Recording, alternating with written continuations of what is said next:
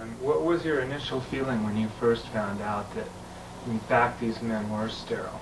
Shock. We had no idea, I had no idea at all that we had any kind of a process here in our plant operations that could do such a thing to a human being.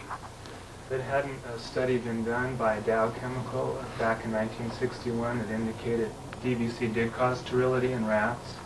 Well, there was a study funded by Dow, and uh, the Torkelson study, Dr. Torkelson, and it did not show sterility in rats.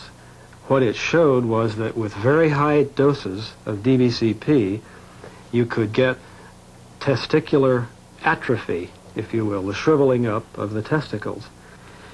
I've talked to uh, two scientists who are familiar with that work, and they both say, heck, we just we just didn't draw the conclusion that there'd be sterility from the fact that the testicles were shriveling up.